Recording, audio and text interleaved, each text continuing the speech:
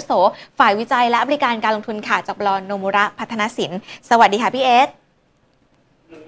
ค่ะ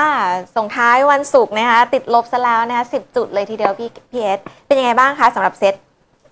ครับก็จริงๆก็บวกมาได้สี่วันนะครับ เป็นค่ะ technical rebound ขึ้นมา วันนี้ก็ก็พักฐานลงมาบ้างนะครับ ก็ให้ๆตามดูต่อนะครับ สัปดาห์หน้าก็เอ่อติดตามเรื่องตัวประเด็นการเมืองนะครับ แล้วก็ในรองผลการกลุ่มธนาคารนะครับ ที่น่าจะเริ่มทยอยออกมา นะครับนี่ก็เป็นอะไรที่ตลาดเองจับตาดูอยู่ แล้วก็เอ่อคงดูการเดินหน้านะครับดีเบตรอบสองคุณทรัมป์คุณโจไบเดนนะครับ ซึ่งกำหนดวันที่ยี่สิบสองนะครับอันนี่ก็เป็นอะไรที่เราคงต้องค่อยๆตามดูกันนะครับ ถ้าตลาด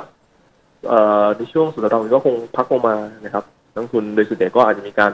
ปรับโพซิชันออกมาบ้างนะครับอืมแล้วก็ขาของการ rebound เองเนี่ยก็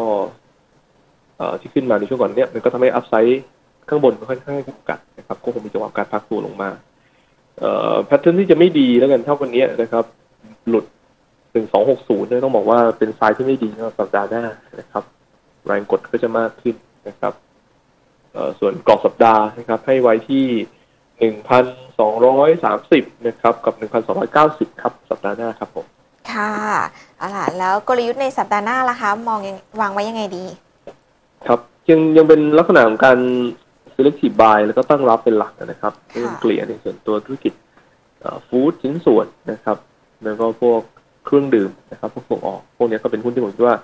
เอ่อค่อยๆตั้งรับนะครับ หุ้นเด่นในเดือนที่เราแนะนำก็เป็นตั้งรับนะครับไทยยูเนียนโฟรเซ่นนะครับ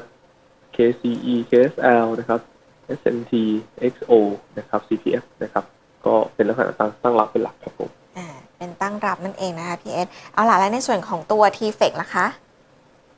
TFEX ก็เอสศูนย์นะครับชัดสองศูนย์คน short short trading พอร์ตก็ยัง short ได้อยู่นะครับ แล้วก็ใครอยากจะ trading short นะครับที่ไม่ได้เป็น hedging เองเนี่ยก็ช็อตได้นะนะครับค่ะแต่ว่าดูแนวต้าน 809 นะครับ กับ 814 ไว้ ไม่เบรกตรงนั้นเนี่ยเราก็ถือช็อตได้ครับผมค่ะแล้วก็ดูจุดกระแทกนิดนึงว่าถ้าหลุดบริเวณเอ่อ 791 นะครับ ก็อาจจะไหลลงไปที่บริเวณสักเอ่อ787 นะครับ แล้วก็บริเวณ70 ได้ครับผมค่ะอื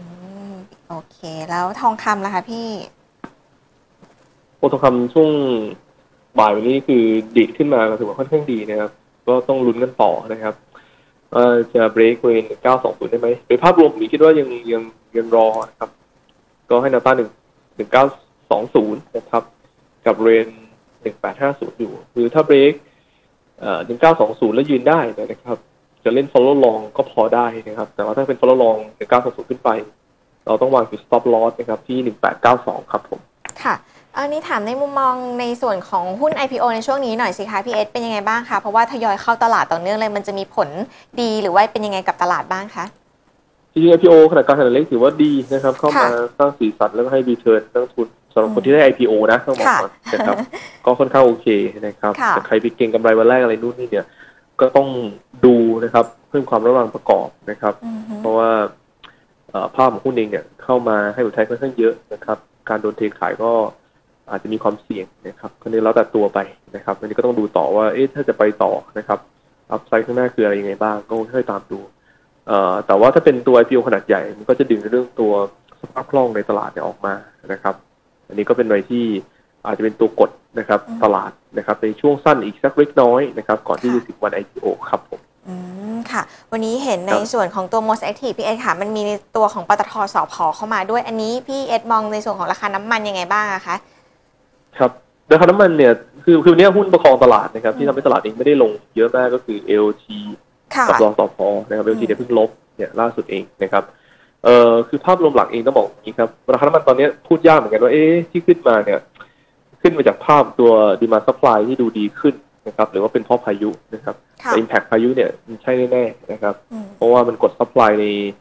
อ่าชายฝั่งสหรัฐเนี่ยนะครับ 90%นะครับค่ะเรา1.7 ล้านบาร์เรลนะครับอืมต่อวันอันนี้ก็ทำให้ตัวราคาน้ำมันดีดขึ้นมานะครับ ต้องดูต่อครับว่าราคาน้ำมันจะรักษาฐานตรงนี้ได้ไหมถ้ารักษาไม่ได้เนี่ย เดี๋ยวหุ้นเอเนจีเองก็จะค่อยๆปรับลงมานะครับเราจะเห็นว่าตัวหุ้นโรงกลั่นเองที่ขึ้นมาก็เริ่มปรับตัวครับยันโดยรวมก็ต้องเพิ่มความระวังนะครับ แล้วก็ใครเทรดดิ้งก็ต้องมีจุดถอยนะครับผมอะได้เลยค่ะพี่เอสขอบคุณมากนะคะ ครับสวัสดีครับ สวัสดีค่ะะขอบคุณนะคะคำแนะนำจากทางด้านคุณกรพัฒน์วรเชษนะคะผออาวุโสฝ่ายวิจัย และบริการการลงทุนจากบลโนมุระพัฒนาสินเองนะคะก็มองกรอบเซตในสัปดาห์หน้านะที่ 1,230 ถึง 1,290 จุดนั่นเอง ส่วนตัวของกลยุทธ์นะคะก็เป็น selective buy นะคะให้เป็นการตั้งรับนั่นเองนะส่วนหุ้นที่น่าสนใจ หุ้นเด่นที่ทางด้านโนมุระได้แนะนำไว้ก็มีหลายกลุ่มเลยนะคะ ไม่ว่าจะเป็นในส่วนของตัวของกลุ่มเครื่องดื่มนะคะ เด่นๆก็จะเป็นตัวของที TU KCE นะรวมถึง PSL ด้วยนั่นเองนะคะ เอาล่ะแล้วเราไปพูดคุยกับสาย